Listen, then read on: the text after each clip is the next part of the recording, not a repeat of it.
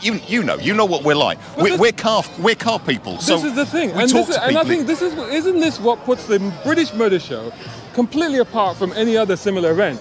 Because it's not just a show, it's not just a corporate businessy thing, but it's a community thing, which is what this is about, right? It really is. You know, I, I- set this up three or four years ago. You know Yeah, me. I'm yeah, a car guy, yeah, and I did this because I love cars. Yeah. And I think that passion comes across. So we we don't just get people turn up and then see them in a year's time. We keep in touch. We talk to them. Yeah. So we reach out to the owners and say, Yeah. we need that. I know who's got that particular Yeah, yeah, car. yeah, so yeah. like we've got this Yeah. fantastic five series here. Yeah. I know Dan, and it's like Dan, Yeah. you've got to bring your Let's car a down. look at it, yeah. Absolutely. Yeah. So yeah, so it's a combination of all of them.